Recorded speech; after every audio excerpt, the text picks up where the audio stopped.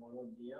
Estem aquí en un acte eh, del col·legi, un acte especial perquè és un acte que parlarem de Barcelona. Eh? I parlar de Barcelona sempre és molt agradable i, i és des del col·legi, no?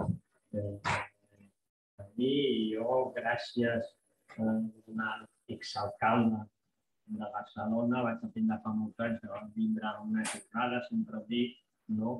I, i vaig aprendre l'important que és l'urbanisme, l'urbanisme per l'economia i més amb els temps que estem, que hi ha més mobilitat dels territoris a les ciutats, és, és la tendència, no es pot tirar cap enrere, però eh, l'urbanisme i desenvolupar les ciutats ja era molt important fa uns anys, ja cada cop és més. No?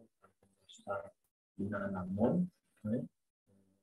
Sobretot està canviant una mica la indústria. La indústria de les tecnologies ja no és eh, fàbriques, sinó que és en despatxos i és necessari tindre infraestructures a les ciutats no sé si.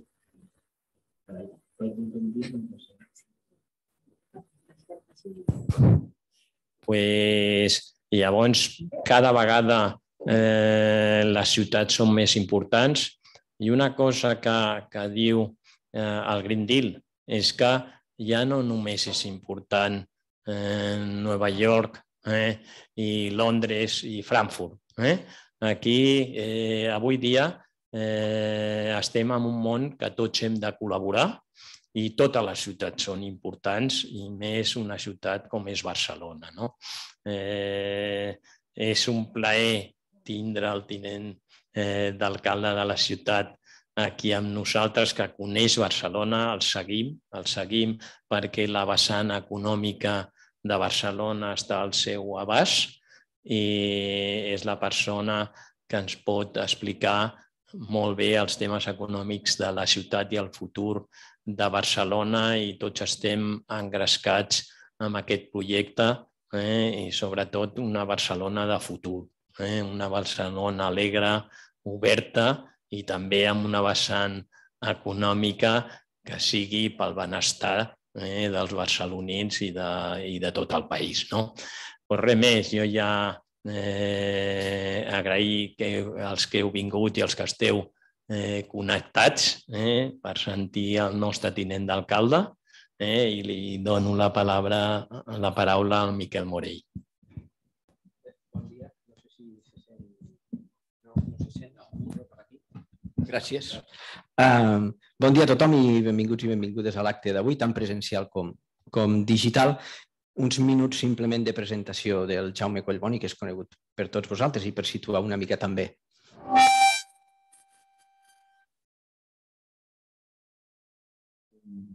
Jaume Collboni, barceloní, eh, advocat de professió i funcionari de l'administració local.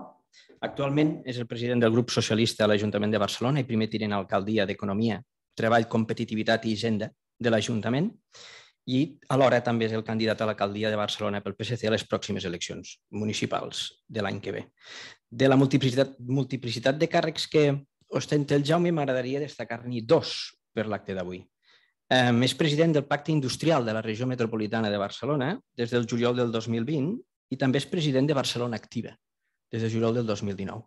Jo crec que són dos càrrecs que dintre del marc en el que estem eh, val la pena eh, resaltar. Per situar una mica l'acte d'avui, eh, sí que us voldria comentar que els discursos més o menys apocalíptics sobre la desertització de les ciutats que sorgiren durant el temps de la pandèmia han quedat diluïts davant la realitat fàctica evident. I és que el futur passa per les ciutats, l'economia passarà a les ciutats, la transició energètica i el repte que ens aflora el canvi climàtic passa per les ciutats i les interaccions socials i culturals, així com els impactes de les crisis humanitàries, també passen a les ciutats. És a dir, que el repte no el tenim pas amb una desertització urbana, sinó que el repte el tenim amb la desertització del món rural. situat aquest punt, aquest és un motiu de l'acte més o menys de l'acte d'avui. Eh, Barcelona en tant que ciutat i metròpoli i Jaume Collboni en tant que responsable de l'àrea d'Economia, de Treball i Competitivitat i Hisenda de l'Ajuntament.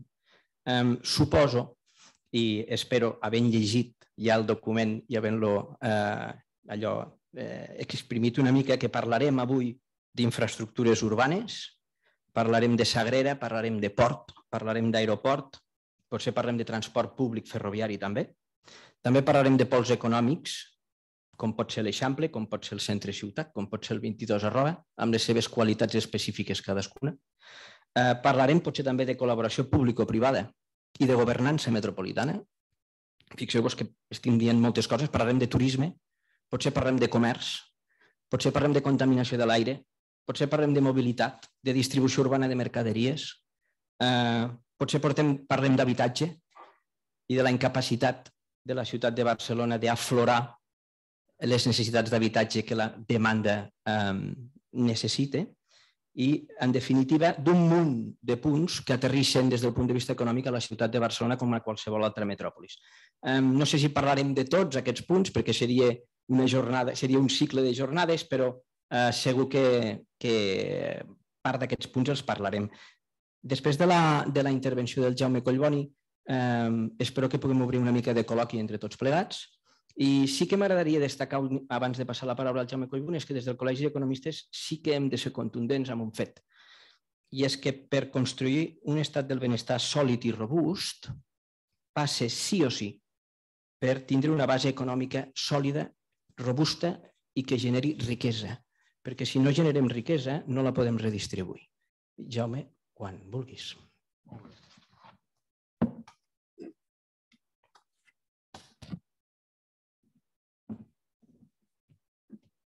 Doncs moltes gràcies. Bon dia a tots els que esteu presents i a aquells que ens, ens sentiu per streaming. Si se'm sent, farem una prova de so perquè no hagi de repetir l'inici.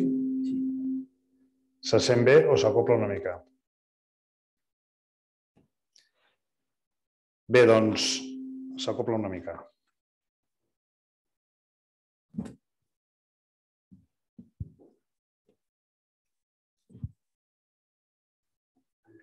Sí? Ara, molt millor.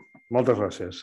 Bé, doncs moltes gràcies. En primer lloc a tots els que esteu presents físicament aquí. Ara parlàvem que és, eh, continua sent una proesa assistir físicament a, als actes a la ciutat, però eh, també molt especialment a la gent que ens esteu seguint eh, en streaming des de casa vostra o des del despatx professional eh, amb aquesta conferència que pretén fer un repàs del que anomenem el Green Deal Barcelona 2030, que és ni més ni menys que el pla econòmic que estem desenvolupant des d'abans de la pandèmia. Com ha dit molt bé el Miquel Morell, al qual agraeixo les seves paraules, i ha fet un repàs de tot el que podríem parlar. Evidentment no, no hi ha temps físic, però jo estaria encantat de fer una jornada sencera sobre els temes que ha apuntat, especialment amb la perspectiva postpandèmia i amb el context econòmic que tenim ara. I um, també vull saludar el senyor Maurici Oliver, gerent del col·legi.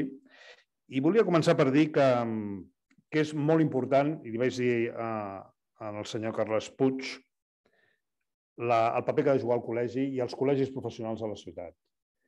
Fa uns, eh, uns mesos, tot just després de la pandèmia, vam decidir eh, tornar a explicar el que era el pla econòmic de la ciutat, que havíem elaborat just eh, abans de que es fatés tot, i vam fer una presentació al Cercle d'Economia, a més a més, jo crec que tres mesos abans que esclatés la pandèmia, on es definien els trets bàsics de, del que és aquest pla econòmic.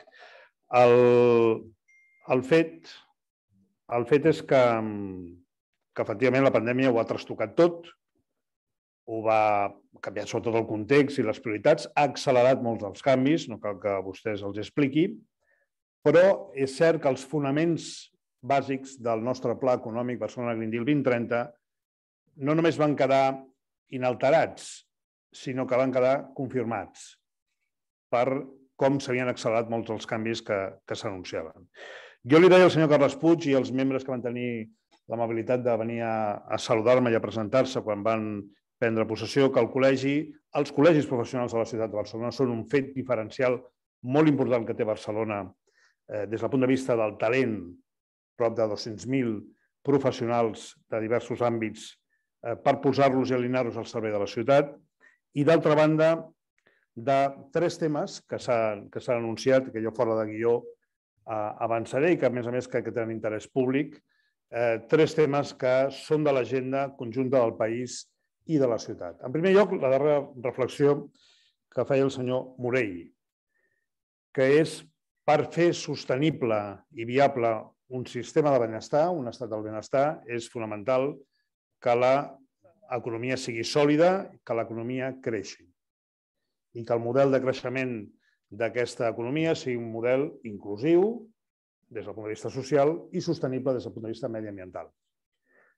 Això que probablement forma part d'un consens o d'un cert consens en els àmbits acadèmics i professionals, crec que serà un dels debats que tindrem els propers mesos preelectorals i electorals a la ciutat de Barcelona, perquè hi ha qui no defensa un model de creixement inclusiu, defensa altres alternatives, implícita o explícitament.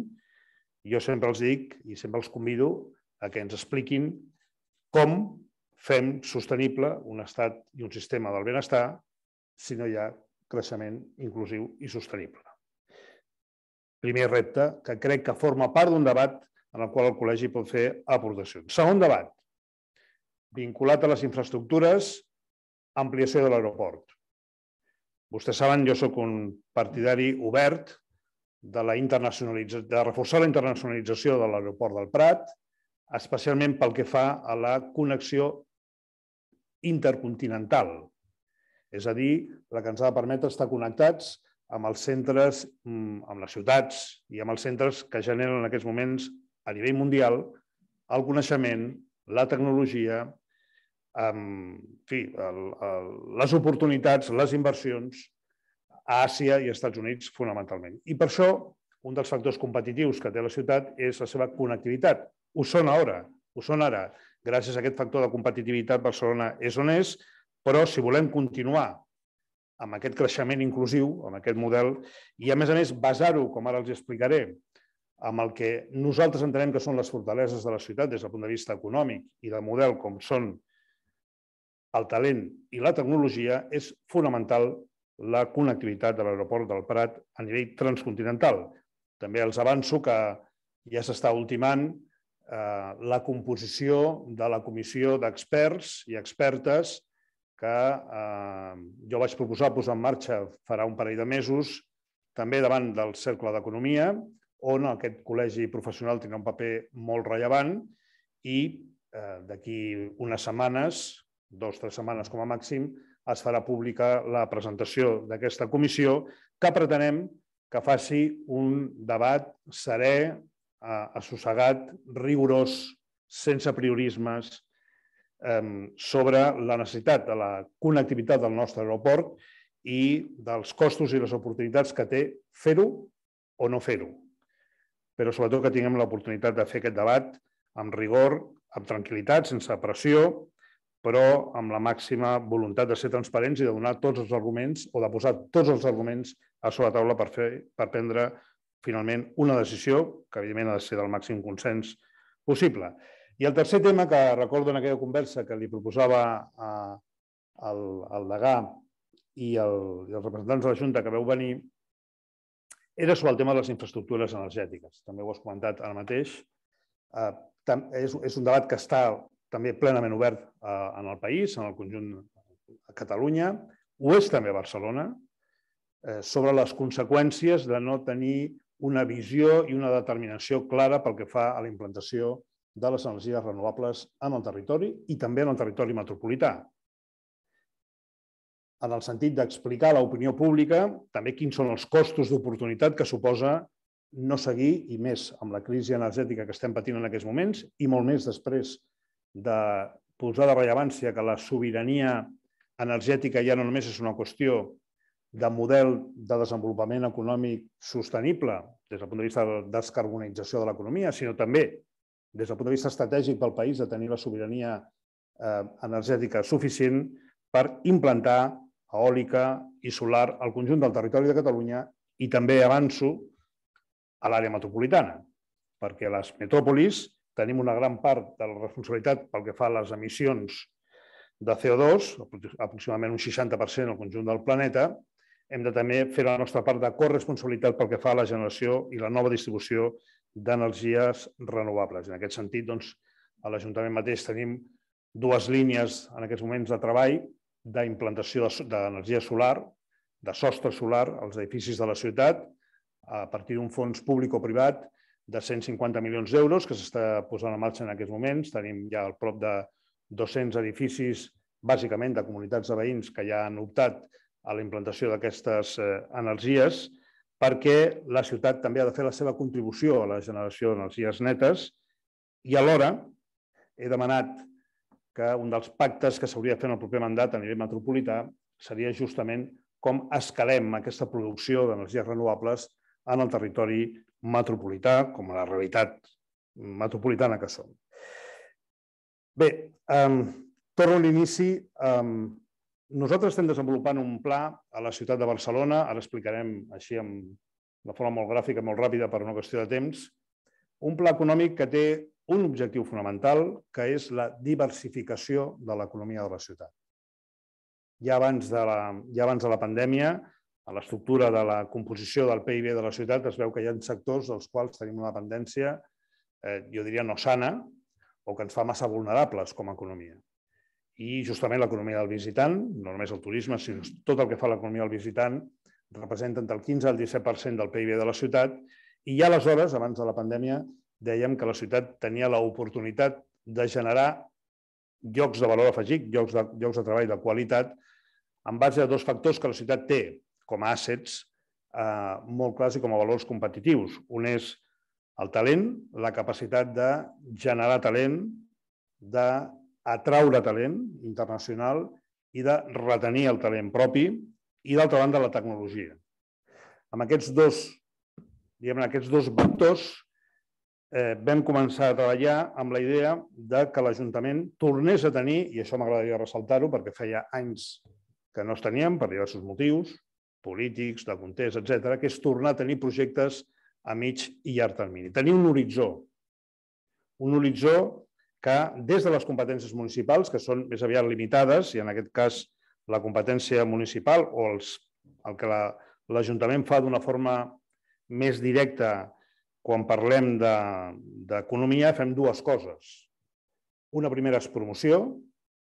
Promoció vol dir explicar la ciutat al món, buscar inversions, buscar talent, buscar centres de recerca que vinguin i es localitzin a la ciutat. I, en segon lloc, espais.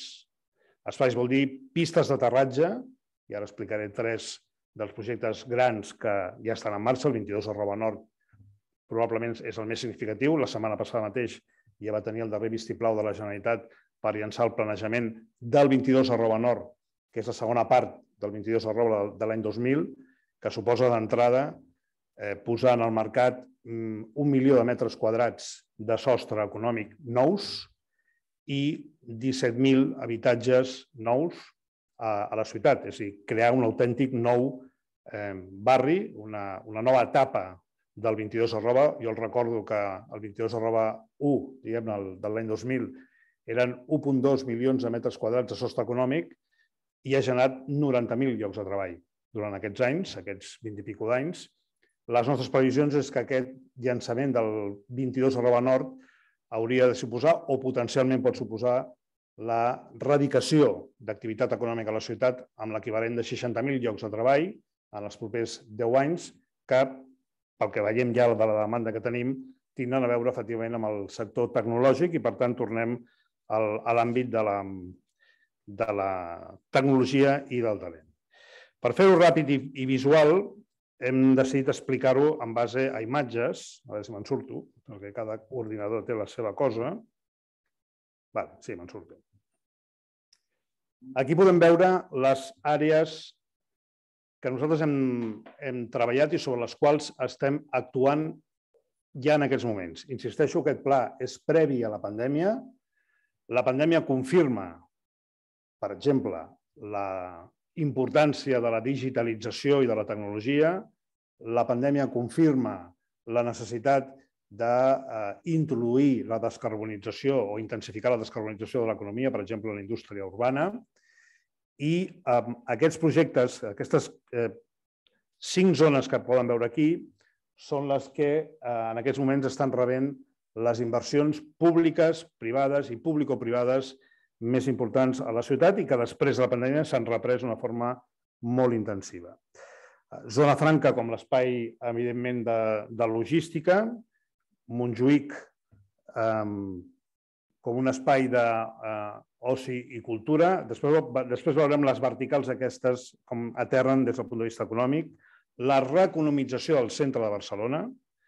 Eh, una de les conseqüències d'haver mm, agafat els regnes, diguem-ne, del model turístic ha estat eh, posar un límit al creixement dins del centre de Barcelona d'establiments hotelers, fonamentalment, però alhora nosaltres hem dit que si limitem una activitat hem d'obrir la porta a altres activitats, perquè efectivament, i aquí rau la gràcia de la diversificació, això ha de permetre eh, radicar activitat econòmica al centre de Barcelona amb les conseqüències positives que té des del punt de vista de l'habitatge o de que mm, els locals i no locals tornin a treballar en el centre.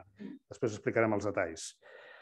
22 arroba, he fet una menció, i l'àrea del Besòs, no només l'àrea dels polígons del Besòs, singularment la Mercedes, segurament seria en aquests moments l'operació més emblemàtica, però també de tot l'entorn de la Sagrera que finalment ha reprès la seva activació. Comencem per, el, per aquesta zona del 22 arroba i, de la, i del Besòs. El 22 arroba podríem posar com, com a exemple el que els he explicat ara del 22 arroba nord, és l'operació més important que tindrem els propers 10 anys d'aquí al 2030 i més enllà a Barcelona.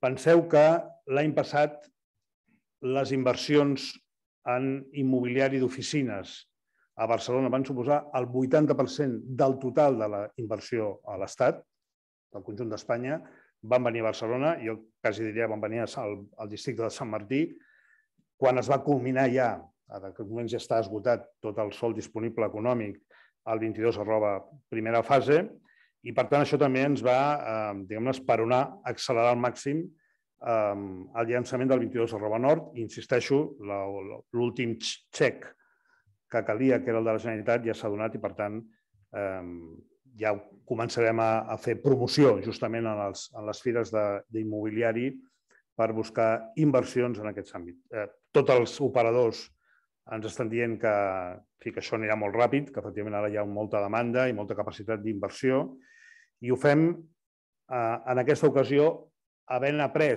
les lliçons del 22 arroba. Per exemple, aquí la proporció d'habitatge és molt, molt més gran que la de 22 arroba del 2000. Allà estàvem 90-10, aquí estarem 60 econòmic, 40 residencial, i amb aquest residencial d'aquests 17.000, 11.000 aproximadament eh, seran habitatges en diversos graus de protecció social. Eh?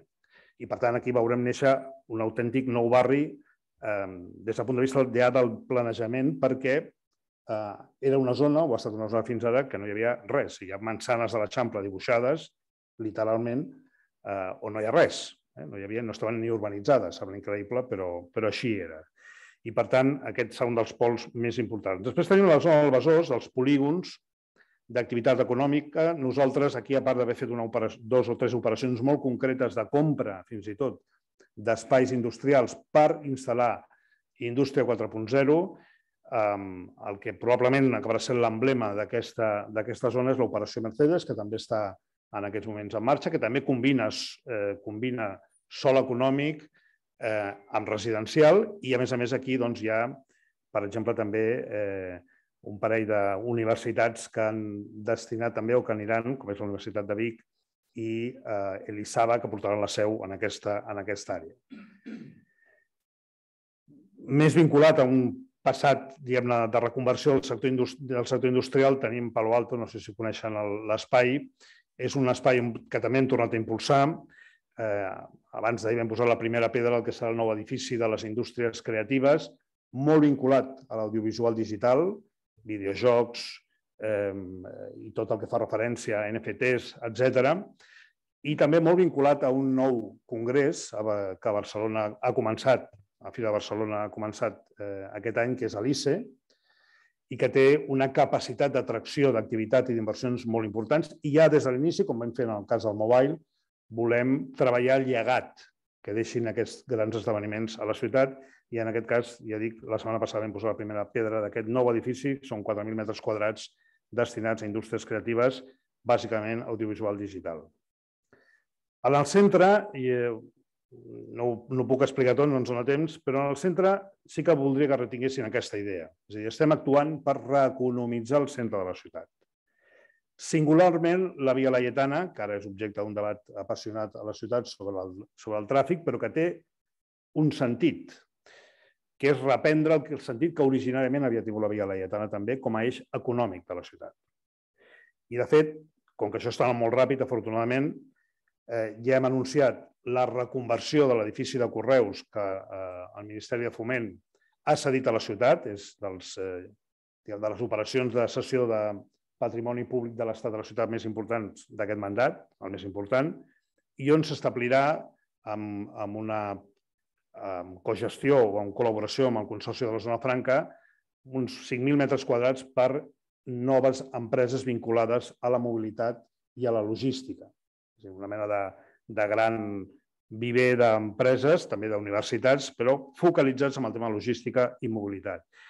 I fa aproximadament una setmana, ho dic de cap, o dues, es va anunciar eh, una inversió conjunta entre la Caixa i el Tech City per fer un dels edificis, el que era l'antic edifici de la Conselleria de, de, no sé si de digital o de, de, el de governació, que és un edifici sencer nou, que també serà un nou centre d'empreses vinculades en aquest, en aquest cas a la biotecnologia i, a la, i al health i, al, i, a la, i a la salut digital. Això fa dues setmanes.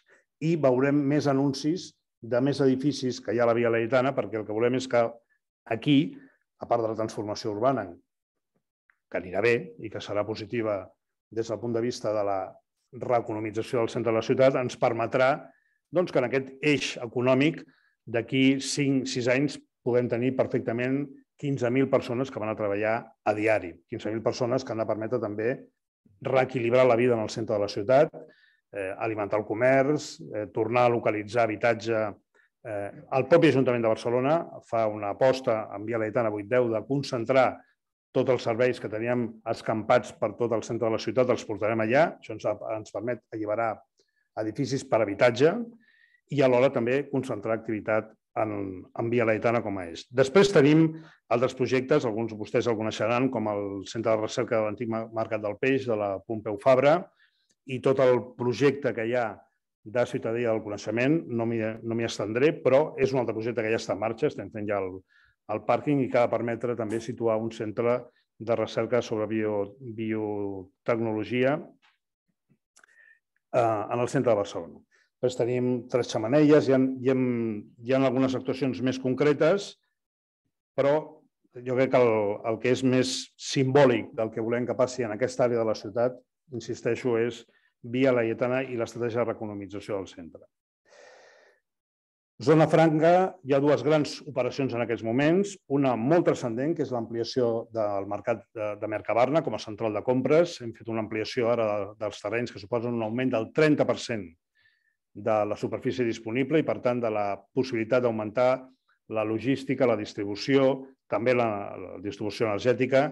Hi ha un dels canvis que, que tu has apuntat, que és tot el tema de logística d'última milla i de preúltima milla. Això requereix de nous espais logístics amb una concepció diferent, tant en la trama urbana, en aquests moments tenim al torn de 12 projectes pilots de micrologística, bàsicament als pàrquings, però també d'abans de l'última milla hem de tenir nous espais perquè canvia completament, canviarà completament el paradigma del que ha estat fins ara, ja està canviant de fet, no? però volem governar el canvi del model per fer-ho més sostenible, més compatible amb la vida de la ciutat i, per tant, requeriria de nous espais. Aquesta ampliació ja està feta, ja hem fet la compra.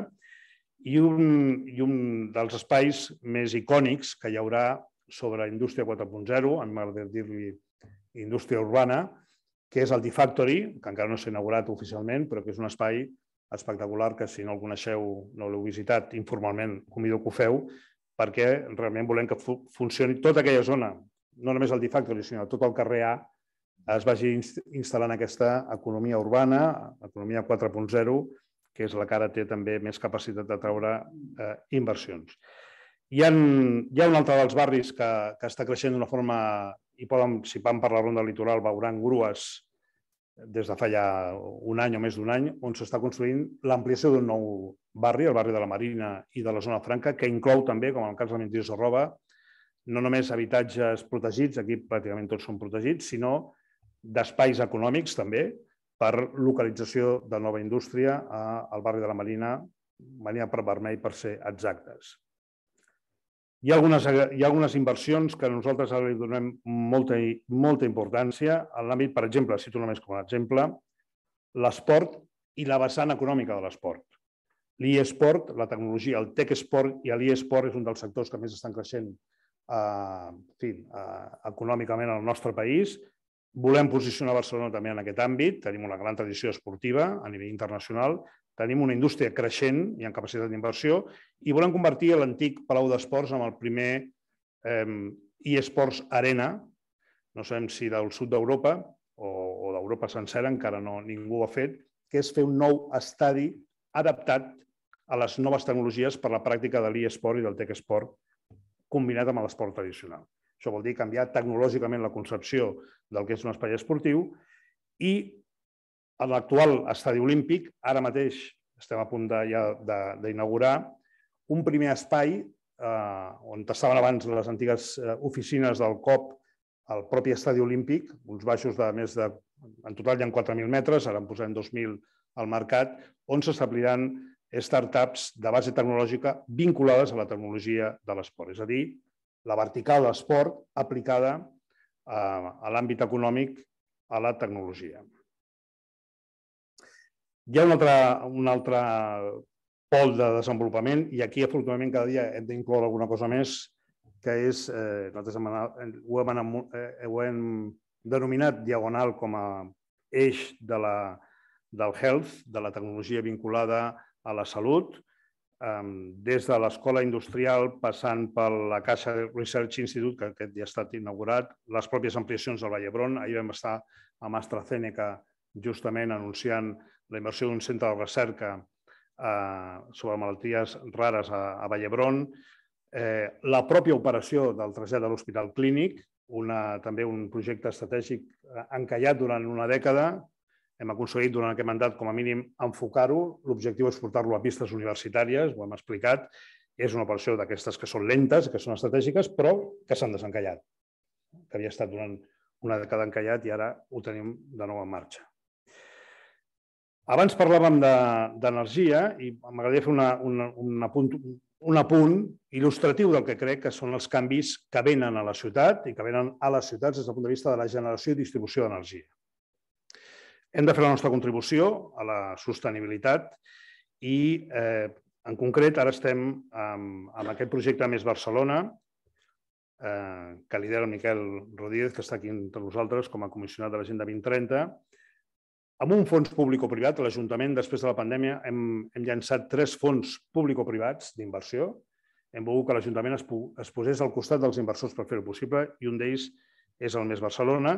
I després un projecte de distribució de l'energia. I en aquest cas, el projecte Andoia, amb més de 650 punts de recàrrega previstos eh, en, fi, en marxa i eh, amb l'objectiu d'arribar a 3.000 al 24. Això farà, per dir-ho res i curt, que Barcelona sigui la primera d'Espanya segur i probablement la segona o tercera d'Europa a nivell de cobertura de punts de recàrrega per automòbil elèctric. La qual cosa és fonamental per la nostra indústria, per la indústria de l'automòbil, que és el requeriment que ens fa, i ho és també des del punt de vista de l'equilibri territorial, perquè això, no ho ha mencionat, però jo també sóc el president de Barcelona Serveis Municipals, que és qui està fent aquesta inversió, que sigui d'iniciativa pública, que no és incompatible amb la privada, garanteix l'equilibri territorial d'aquests punts de recàrrega i, per tant, que aquells que són més rendibles, que probablement seran els del centre de la ciutat, compensin els que ho seran menys, que són els més perifèrics, com, com passa també amb els pàrquings públics. És a dir, intentem que els més rendibles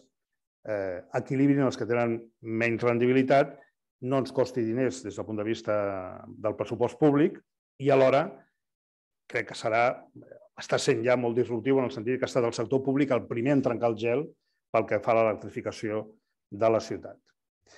Habitatge públic, no oblidem, eh, a vegades ens diuen per què poseu l'habitatge no? quan parleu d'un pla econòmic? Home, perquè quan diem que volem créixer i que volem que aquest creixement sigui inclusiu i que sigui sostenible, una de les primeres conseqüències de la generació de riquesa és tenir els recursos públics suficients per impulsar la construcció d'habitatge públic. Si no s'ha fet més, durant alguns anys ha estat perquè no hi havia recursos suficients. Eh, en aquests moments estem eh, en el desenvolupament d'aquests 5.784 habitatges impulsats directament per l'Ajuntament i eh, de cada planejament que els he explicat que hi havia 22 arroba, Marina, Sagrera, s'han associat al desenvolupament també de nou habitatge, més o menys el 50% protegit. És a dir, en qualsevol planejament que ara que és eminentment econòmic o que la primera visió és econòmica, sempre va associada la promoció d'habitatge públic, perquè és obvi que és el principal problema que té encara avui la nostra ciutat. Bé, aquí podríem parlar d'infraestructures, eh, d'infraestructures i de com, mm, no cal dir-ho, cal, cal que les inversions compromeses per l'Estat i per la Generalitat es compleixin, és fonamental. És fonamental i, i no és justificable o no té cap justificació que no eh, s'apliquin i s'executin les eh, inversions en infraestructures metropolitanes i a la ciutat de Barcelona. Avui mateix doncs, eh, s'ha tornat, eh, tenim la notícia no, del dia, que és la, posada en marxa de la tuneladora de la línia 9. En fi, nosaltres eh, constatem que aquesta tuneladora ha estat aturada 10 anys. Passa el mateix amb, Rodalies, les inversions que s'han de fer a Rodalies. Hem estat 10 anys amb les, amb les inversions aturades. Això té un impacte directe amb la mobilitat, no cal dir-ho, però també té un, un impacte directe amb l'economia de la ciutat i amb l'economia metropolitana. Els costos d'oportunitat que hem tingut com a ciutat i com a país de no tenir aquestes infraestructures desenvolupades no cal que els expliqui. Um, I, per tant, uh, entre altres coses, perquè durant aquests 10 anys el cost de tenir els túnels que ja tenim fets, només el manteniment dels túnels que tenim fets i no es fan servir, uh, han generat un cost de 7,5 milions d'euros en mantenir un, diguem, un túnel que no tenia ús i eh, amb una infraestructura que, que té un sobrecost de, des del 2016, calculat per la pròpia sindicatura de comptes, de gairebé 5.000 milions d'euros. Per tant, crec que, crec que és obvi que avui, mm, en fi, no sé si tenim res a celebrar. Jo crec que el, el, que fa, el que es fa, o el que fa en aquest cas el govern de la Generalitat, és complir amb la seva obligació amb la ciutat i amb l'àrea metropolitana i, per tant, eh, és una bona notícia, evidentment, demostra que, efectivament, els projectes estratègics tornen a enlairar-se i, eh, i que aquesta és una bona notícia. Jo no m'estendré massa més, podria explicar amb més detall moltes d'aquestes accions, però bàsicament voldria re repetir i subratllar el missatge principal del que he exposat abans. Tenim un pla, i un pla a mig termini i un pla que és coherent amb el que la ciutat de Barcelona pot i vol ser quan sigui gran des del punt de vista econòmic. Amb una economia diversificada, amb una economia basada en el talent i la tecnologia, internacionalitzada, que doni les màximes oportunitats, sobretot a la gent jove, que surt de les escoles, de les facultats, de les universitats, per tenir una feina o per prendre una iniciativa econòmica a la nostra ciutat que la ciutat de Barcelona tingui, sigui una ciutat d'oportunitats en el futur depèn en gran mesura que aquests projectes que avui els he exposat eh, avancin amb determinació i amb vigor, no, no s'allarguin, no s'estanquin, no hi hagi dubtes, hi hagi el màxim consens possible a la ciutat per fer-ho possible. Eh, jo amb això sóc de la vella escola, crec amb el consens i crec amb els pactes i crec que actes com el que avui hem fet contribueixen a anar construint aquest consens sobre els temes que són fonamentals, governi qui governi, perquè aquests projectes són els que han de tenir una continuïtat. La ciutat ha demostrat que ho pot fer, ho ha fet històricament, marcar-se fites a mig i a termini i assolir-les.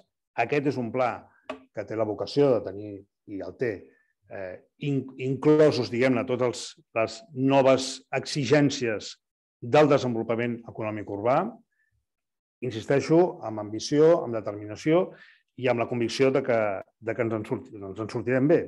De fet, eh, ja que ara sí que acabo, eh, segurament si fa un any, un any i mig ens diuen que l'economia local, parlo ja per no parlar de la, de la nacional, malgrat totes les incerteses i les inestabilitats, malgrat eh, l'ensurt que vam tenir a les borses ahir mateix a nivell internacional pel tema de l'anunci de la pujada dels, dels tipus de la FED, eh, malgrat tot això, en aquests moments, el nostre teixit econòmic, el principal problema que té ara és que no troba mà d'obra, sigui el sector que sigui, i sigui del nivell de qualificació que sigui.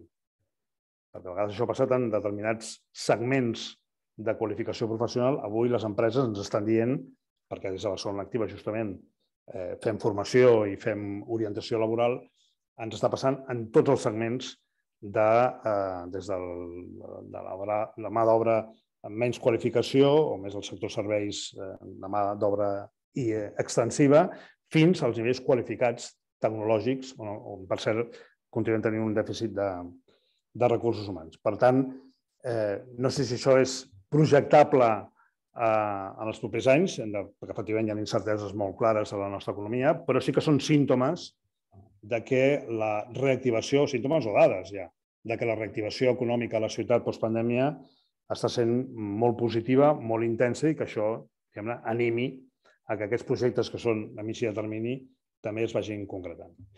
Moltes gràcies i passem al debat. Seguim aquí.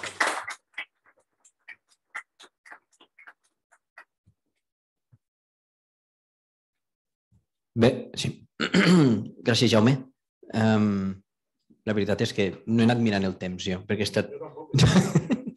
no, no, ha estat molt bé. Um, escolteu, si voleu, uh, obrim una mica l'oportunitat de que pugueu fer intervencions. El que sí que us agrairia són dues coses. Uh, Presenteu-vos quan feu la intervenció, perquè així pugui el Jaume saber qui sou, i feu, si us plau, intervencions curtes, perquè així doncs, podrem fer-ho més, eh, més amè.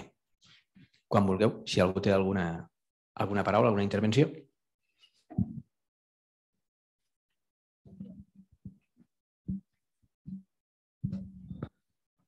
Sí, senyor Collboni, uh, gràcies per venir al Col·legi d'Economistes i és obvi que uh, ens ha anat uh, uh, explicant projectes que formen part d'això que al començament deia o generem riquesa o no sabrem eh, què distribuir perquè el calaix estarà buit. Eh, I és evident que una ciutat està viva amb tot això que ens ha explicat.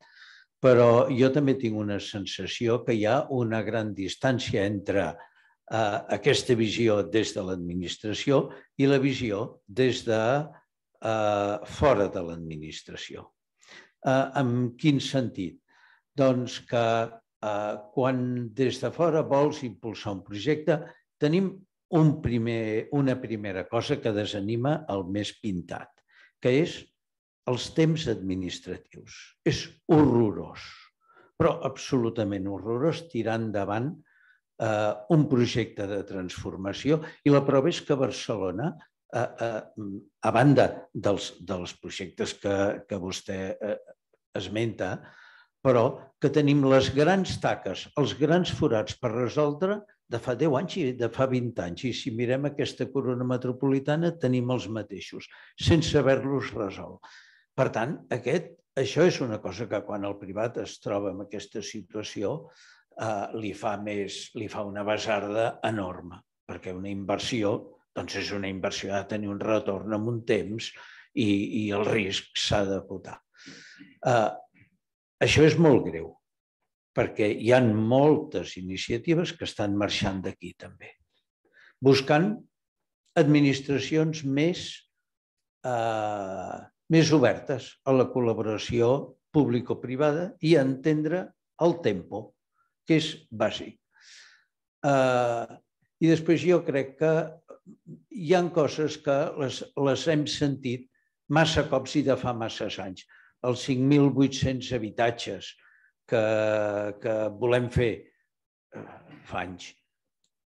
Per contra, hi han coses que dominen massa, eh, sonen massa sovint i que no tenen aparentment gaire encaix, com per exemple tot el tema de Via Laietana o tota l'actuació sobre l'Eixample o el bloqueig de les entrades de Barcelona, en comptes de plantejar realment estratègicament si Barcelona necessita un tercer túnel, etc. O sigui, eh, eh, Barcelona crec que necessita una visió més estratègica, amb, amb més valenta, perquè els problemes és de col·lapse i els problemes això eh, pot impactar directament sobre l'economia i com que el Miquel ha dit preguntes curtes, em sembla que ja n'ha passat. Gràcies.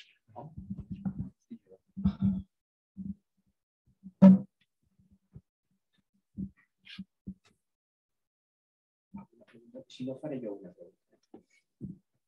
Uh, si no, no, no hi ha més intervencions, doncs em faig una... Ah. No. Vale, Jaume. No, acumulem, acumulem. Ah, acumulem millor? Doncs acumulem preguntes. Gràcies. Albert Carreras, de, de la Junta de Govern del Col·legi. Um, ha estat molt interessant i a mi quan em posen uns quants mapes amb les inversions i tot això ja, ja alegra, no? Dóna la sensació de que això ja es visualitza, passes pels llocs i dius, mira, sí, aquí això hi és, aquí no, aquí això no hi és. De manera que eh, agraeixo la presentació que ha estat, eh, que ha transmès, ha transmès idees i ha transmès projectes. Com que n'hi ha tants, i certament les forces no són infinites, sinó que són limitades, una pregunta com a membre de la Comissió d'Economia Catalana i de la Comissió de Gestió Pública és això amb, quina, amb quin ordre va, amb quina prioritat va? Com prioritzem el, tots els esforços per poder-los eh, gestionar una mica bé? On està l'avaluació de cost-benefici més productiva per dir, mira, doncs la prioritat primera, el primer euro va cap aquí, el primer esforç va cap aquí. I quina era aquella que podríem dir, mira, si no hi arribem, doncs eh, l'últim el deixarem per això, que no passa res si, si ens hem d'esperar. Perquè tot sembla molt interessant, però segur que no tot té el mateix eh, potencial. Gràcies. Jo, eh, bueno, com el meu tema professional bàsicament és l'habitatge, parlaré d'habitatge. No? Vull dir, realment el que o sigui, en aquest país i també, i en tot cas, amb un cert protagonisme a Barcelona, doncs hem anat dient davant dels problemes de la promoció d'habitatge pues, que la iniciativa pública, hem de fer parcs públics, hem de, tot hem de uh, incrementar els percentatges de sessions, i posem, per exemple, diem, doncs ara el 50% dels habitants amb les noves eh, sectors d'urbanització o, de, o de remodelació urbana, el percentatge de VPO serà el 50%. Uh, I a més ara ja hi posem més, i a més serà de lloguer, i a més de lloguer assequible, majoritàriament, o lloguer social. Clar, eh, escolti, els economistes sabem que els números no s'aguanten. És igual, jo um, soc membre en representació del Col·legi de la Comissió d'Urbanisme i quan hi va haver una última discussió sobre aquest tema, al final, eh, que allà bàsicament la gent és d'altres professions, per dir-ho així, que el càlcul numèric el tenen justet, doncs els vaig dir, escolti, el 30% de zero és zero, el 50% de zero és zero, perquè no hi ha sessions, i el 70%, perquè algú va arribar a proposar fins arribar al 70% ja durant de l'emergència habitacional, però és clar, resulta que la viabilitat dels projectes, per això no s'està fent res. I a més a sobre ara han posat amb el sol, eh, amb el sol urbà consolidat també farem HPO, en sens, eh, eh, obligarem a fer reserves d'HPO. bueno, escolti, eh, al final això és un discurs que queda molt bé de cara a la galeria, que portem anys repetint-lo, però la veritat és que el, eh, el parc d'habitatges de Barcelona no creix ni el lliure ni el protegit eh? i, tot, eh, i s'olvida, per exemple, pues, la realitat que aquesta ciutat l'han construït la iniciativa privada bàsicament, amb unes certes operacions importants als anys 50 i 60 de promoció pública, que són els grans desenvolupaments del patronat o de l'obra sindical de l'hogar que va heredar la Generalitat i que ara ja estan amortitzats, d'alguna manera. Però s'oblida això. O sigui, la, establir... O sigui, la ciutat no la pot fer exclusivament el sector públic. Eh? I ja s'han de marcar uns, uns criteris perquè sigui possible incorporar la iniciativa privada. Amb aquest tema, amb, la, amb el tema de la, de, de tornar a fer una activitat industrial, si no la gent acaba de marxar fora, que és el que acabarà passant. Sí. Hi ha, ah, hi ha alguna pregunta més? I tant, i tant. Oh, molt breu, eh? Soc Albert López Rodó, advocat. Eh, jo, simplement, si em pogués fer el ponent una petita valoració de dos temes que a mi sempre m'han fascinat en, en relació amb la connectivitat, que és eh, el forat de la muntanya del Tibidabo amb el tercer túnel per mercaderies i tal, que és una cosa que sempre apareix i desapareix del debat públic, i la seva valoració personal del tema de la Sagrera. La Sagrera jo sempre he entès que, que és la, seria la porta d'entrada de la futura ciutat.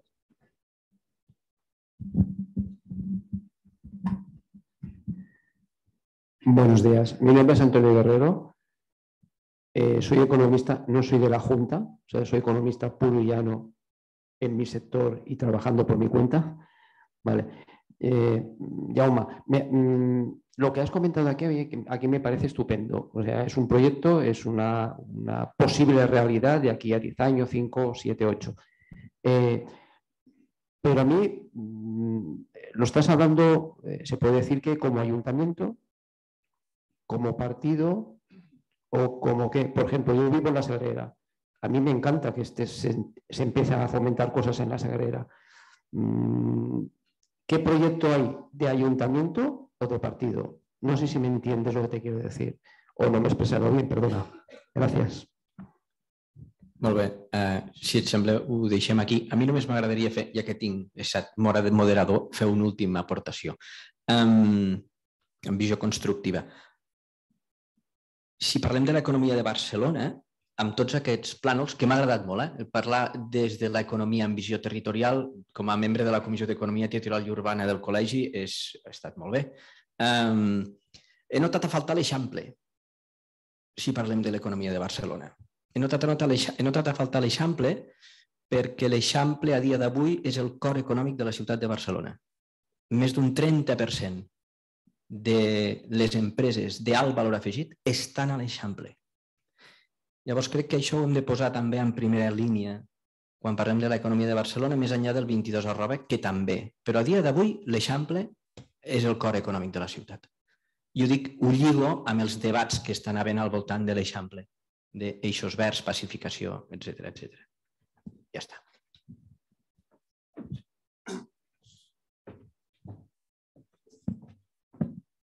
Intentaré ser eh, concís. Gràcies per les vostres preguntes i intervencions. Jo crec que ajudaran a que, acabi d'explicar algunes de les idees que he posat. Per començar, amb el que deia l'Agustí de la, de la burocràcia diguem-ho clar. Eh, jo soc molt conscient d'això, perquè sóc dels receptors, diguem de les queixes de molts sectors, eh, especialment dels sectors vinculats a la construcció i a l'arquitectura a la ciutat. Només la justifico, ho diré com a declaració de principis, jo només la justifico quan la causa són motius de seguretat. Principi general. Aquest Ajuntament va fer en el seu moment, ara fa 10 anys, un esforç mm, històric, diria jo, de ser l'administració d'Espanya que més ràpidament paga proveïdors. I ho va aconseguir. Avui estem a l'entorn de 13, 15 dies pagament a proveïdors. No només, eh, i som l'administració que més ràpid, més, més ràpid ho fa, fent un canvi cultural, un canvi de procediments, un canvi tecnològic dins l'Ajuntament, i a més a més que hem aprofitat durant la pandèmia per millorar encara aquesta ràtio perquè molts processos s'han digitalitzat i els hem consolidat com a processos digitalitzats. I és un cas, un cas de bona pràctica que s'estudia fins i tot a escoles de negoci.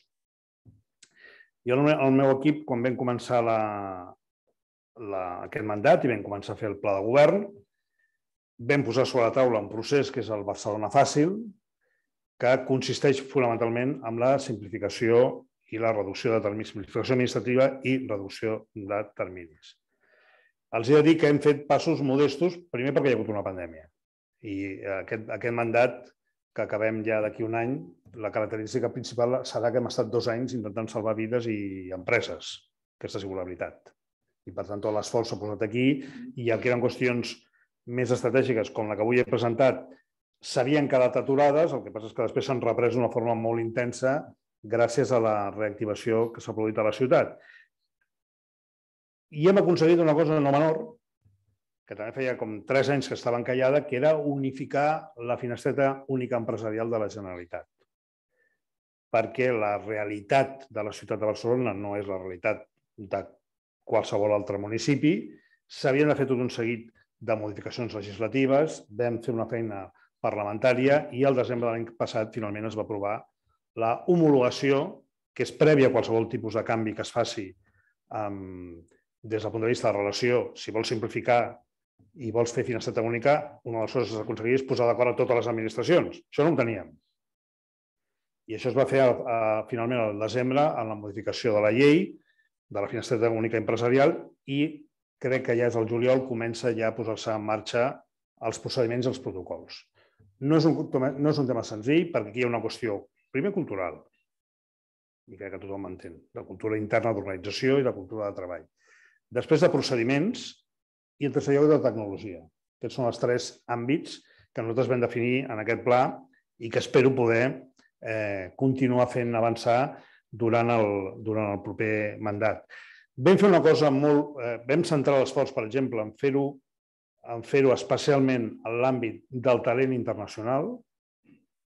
Avui tenim una, una finestreta única pel talent internacional, directius internacionals i talent internacional, que és la Barcelona Welcome Desk, que està aquí al, al 22 arroba, que justament el que fa, era més senzill de fer, era unificar tots els procediments d'algú que aterra la ciutat, tant des del punt de vista professional com des del punt de vista personal, de tramitacions per eh, ajudar, perquè era un dels problemes que teníem, una de les barreres d'entrada que teníem pel talent, eh, i crec que és una bona pràctica perquè està funcionant. Però, efectivament, eh, un projecte de simplificació i reducció de tràmits i de simplificació administrativa vol molt temps, vol molta inversió i aquest mandat, honestament, no ho hem pogut fer o no ho hem fet a la velocitat que volíem fer, però vull que quedi clar que som plenament conscients d'això i sabem que això és una barrera i un obstacle pel creixement econòmic a la ciutat. Um, ha sortit el tema de l'habitatge en un parell d'ocasions. La xifra de 2.700 habitatges eh, en construcció són xifres reals d'ara. I els convido, insisteixo, que vagin al barri de la Marina i veuran físicament com són. Molts d'aquests pisos que s'estan fent o que vagin al 22 arroba o que vagin a, a la zona de la Sagrera i veuran les grues i els edificis com estan. Això és així perquè s'ha reprès la ciutat de Barcelona, per impuls municipal, a l'època, l'última època de l'alcalde Areu, estàvem més o menys amb uns 1.000 habitatges protegits per impuls municipal. En aquest mandat haurem recuperat aquest, aquesta velocitat de creuer, després de 10 anys. Que la mitja, dic la mitja, eh? Vostès ja saben perfectament que entre que localitza el sol, fas la transformació, el planejament, fins que dones les claus, doncs són 4 o 5 anys perfectament. Per tant, aquest mandat recuperem la velocitat de creuer. Suficient? No. Um, qui ha d'exercir, permetin que faci una mica de crítica i de queixa, qui ha d'exercir les seves competències que la Generalitat de Catalunya a Barcelona, que és la competent, ho fa la ciutat de Barcelona? No. Ha fet dues promocions aquests quatre anys, dues. Nosaltres estem fent 3.000 amb pressupost municipal. Pel que fa al model, si vostè em pregunta al senyor, eh, em sembla que ha sigut el senyor eh, Joan, eh, donaré tres dades perquè, per també tranquil·litzar-lo, si em permet.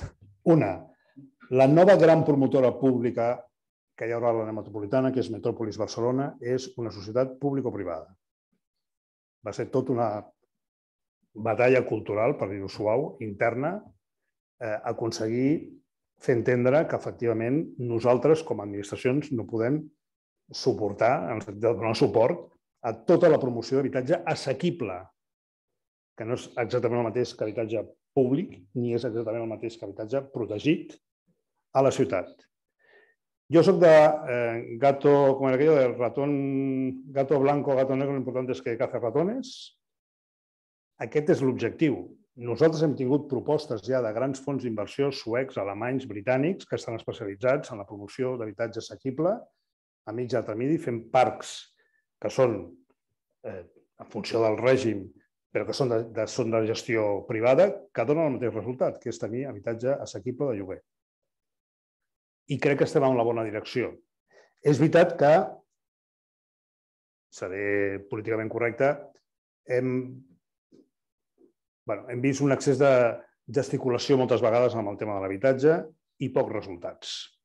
Però si em permeten, i ho dic també per la eh, intervenció que ha fet el senyor Antonio Guerrero, si me permitís, eh, yo estoy aquí en mi condición ahora de primer teniente de alcalde del área de economía, explico la acción de gobierno que estamos haciendo, porque yo soy de los que cree que uno tiene que gobernar hasta el penúltimo día, y ya vendrá el momento en el cual nosotros, como opción política, explicaremos qué cosas haremos diferentes, qué cosas no hubiéramos hecho o cómo pensamos desarrollar algunas que no han funcionado. Porque yo soy de los que cree que en políticas públicas como en la vida, cuando intentas algo y no te funciona, y en materia de vivienda algunas no han funcionado, pues hay que rectificar y no pasa nada. No es una cuestión de dogma ni de fe, es una cuestión de resultados. Yo como soy también de la escuela de los resultados. Si, una política pública no da resultados, pues hay que rectificar la política pública. Y hay ejemplos de cosas que han funcionado bien y hay cosas que no han funcionado. Pero si me permiten, ahora no voy a hacer ese ejercicio porque creo que no es el momento de hacerlo. Lo haremos cuando, cuando corresponda desde el punto de vista del calendario preelectoral y del punto de vista de la propuesta que haga un partido político para resolver un problema, en este caso desde la experiencia. Eh, no lo haremos desde un apriorismo ideológico o desde em, eh, sentirte corregido o enmendado porque algo no ha funcionado. No pasa nada. No pasa nada. A veces lo haces con la mejor intención pensando que va a dar el resultado y no lo da o obtienes el resultado contrario. Y en materia de vivienda en algún caso ha pasado eso. Pues vamos a proponer en su momento qué cambios ah, haremos o qué cambios vamos a proponer hacer en materia de vivienda, teniendo en cuenta, insisto, este principio que es una prioridad de la ciudad, hay que invertir recursos públicos, pero hay muchas fórmulas para conseguir el mismo objetivo, que efectivamente no todas pasan por la eh, intervención ni la gestión pública, porque efectivamente no es sostenible. No es sostenible. Esto y otras cosas que también a veces se plantean. Ah, y al tema de infraestructuras, um, supongo que os refereix al túnel d'Horta, famós, no? El, Miri, jo m'estimo més acabar els túnels que tenim oberts. Si vostè em diu, quins túnels, m'agrada la seva opinió, quins túnels hem de fer? Diu, home, per començar, acabar els que tenim. O els que estan previstos s'estan executant. Avui mateix tenim un exemple com és, ho dic perquè la inversió també és la que és, els recursos són els que són. Jo el que demanaria és que acabéssim allò que havíem previst.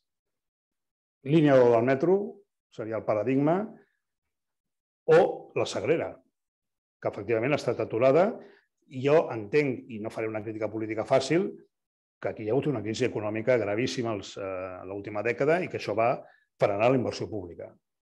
Independentment del color polític de qui governés a l'Estat o la Generalitat. I això és així. I, per tant, abonar-nos a una crítica fàcil en aquest sentit crec que no seria eh, coherent ni honest. Ara, un cop estem reprenent la capacitat inversora, aleshores hem d'apretar.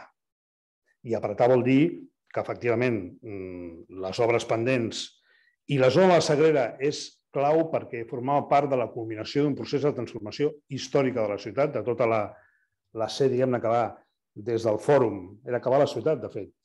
La ciutat, durant una fase baixa, baixa de glòries fins a diagonal, fins al mar, culminem tot el litoral, fòrum, comença a pujar, i en aquest començar a pujar, que això és el que estava previst a partir del 2020, ve la crisi.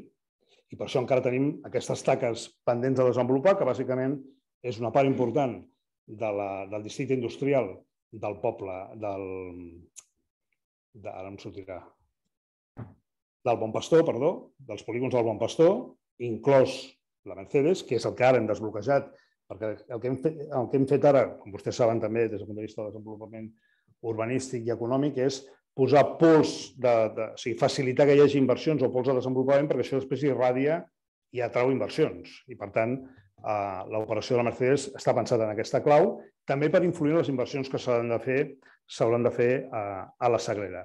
Però aquest procés de desenvolupament amb C, que pujava, i arribava fins al fòrum i començava a pujar pel Besòs, això és el que va quedar interromput amb la crisi financera.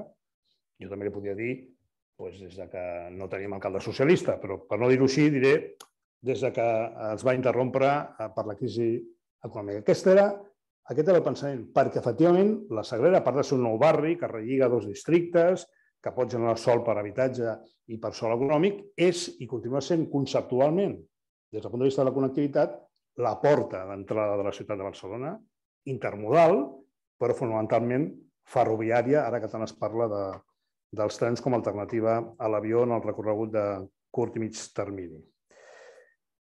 I pel que fa a l'Eixample, eh, i per no entrar en... Jo eh, l'altre dia vaig fer una reflexió que és quin és el polígon industrial més important que té Barcelona en nombre de metres quadrats. Ara no me'n recordo de la xifra exacta, però vaig fer aquest exercici amb els nostres equips d'economia. El polígon, la zona, de, la zona física de desenvolupament econòmic més important que té la ciutat de Barcelona són els baixos comercials. I tenim eh, pràcticament les últimes dades, estàvem a l'entorn del 30% de baixos que o no es col·loquen o estan circulant, no s'acaben de consolidar. No hi ha una política pública de baixos comercials com a espai econòmic. I aquesta, que pot ser d'aquestes polítiques innovadores des del punt de vista de la gestió, de facilitar, per exemple, l'erradicació d'activitat en els baixos comercials baixant-los del pis, dels pisos, que és una cosa que passa molt a l'Eixample, que ocupen espai d'habitatge que conceptualment és habitatge per, per residir, i en canvi no es baixen els, els baixos comercials. Quina política d'incentius fiscals o d'un altre tipus es podrien fer o proposarem fer perquè això passi? Té a veure amb l'Eixample. L'Eixample, no només l'Eixample, crec que en concret era el carrer Balmes, però vam fer l'estudi, quan vam estudiar això dels, dels això ho hem estudiat ja, hem estudiat on està l'activitat econòmica, entre altres coses perquè tenim un gran interès, insisteixo, en buidar habitatge i que l'habitatge faci d'habitatge. Eh, I després per veure quines, quins mecanismes d'incentiu tenim o per baixar baixos comercials o per anar a zones de desenvolupament econòmic com poden ser el 22 o Roba Nord. Aquest és l'espai i aquest és l'enfocament que, que, eh, que estem fent a, a l'Eixample.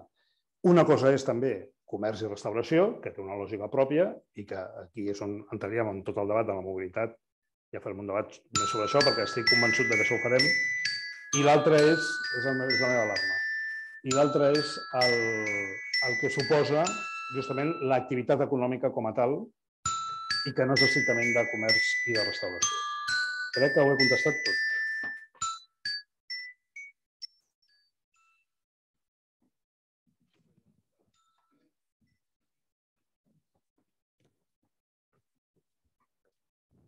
Pues res, moltes gràcies. Crec que parlem el mateix idioma, eh? parlem idioma econòmic. Avui ha sigut eh, el to que hem parlat d'aquests problemes. Moltes gràcies per respondre a les preguntes que són per, per anar cap endavant, per tirar cap endavant a aquesta ciutat, perquè tinguis una mica la visió del que pensem els economistes. Llavors, mm, la veritat, Mm, el Col·legi d'Economistes sempre estarà al costat de la ciutat de Barcelona amb els temes que puguem ser d'utilitat, que són els temes econòmics. Jo crec que molt, ho vaig dir a la, a la reunió, els col·legis d'economistes eh, i, i els col·legis en generals podem aportar molt a aquesta societat eh, i de fet el col·legi ho vol fer i us oferim eh, la col·laboració. Tenim temes molt importants a Barcelona. Jo, de fet, una mica la raó l'he vist a aquestes presentacions de Barcelona, que són estupendes, perquè tenim una visió, ho heu dit vosaltres, de, de que està, com s'està movent la ciutat i com serà la Barcelona del futur. I quan et vaig veure a la presentació et vaig dir tinent alcalde, vine al col·legi a explicar-lo perquè és el que necessitem saber de la nostra ciutat i de l'economia de la nostra ciutat. Moltes gràcies i, i a tots vosaltres gràcies per haver vingut i fins una altra. Molt bé, gràcies.